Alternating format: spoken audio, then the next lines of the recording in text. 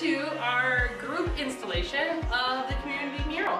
Uh, we invited members of the art public to come on down and help us install the stall as a community, the mural we created as a community.